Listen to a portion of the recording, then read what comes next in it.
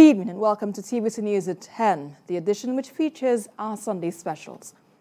We begin the news tonight with the political development across the state as Ekiti State has now a new governor.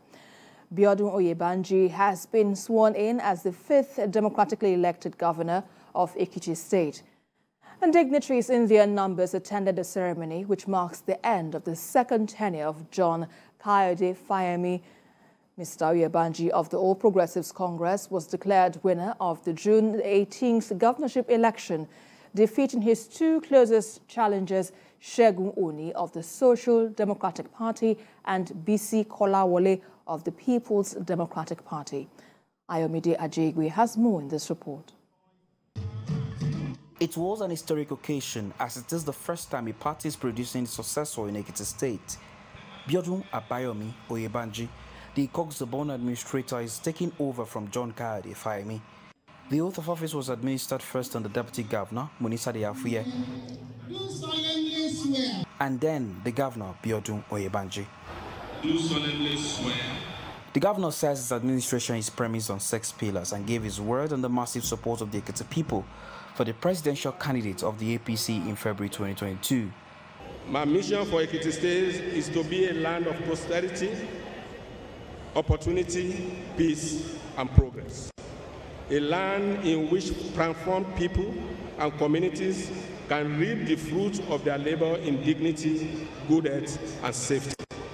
A land of honor where integrity matters. It is best positioned for peace and prosperity under the leadership of Asiwaju Tinubu, and I'm sure that we will deliver our votes for him. Am I speaking your mind? The presidential candidate of the All Progressive Congress, Asiwaju Bola Ahmed Tinubu, in his remarks congratulated the new governor and thanked the people for their support while rallying the people of the state ahead of next year's election. And I'm sure the peaceful conduct of the election, the great results that we harvested, demonstrated what Ekiti stand for. Another election is coming. By February, you be ready as the president. Will you vote?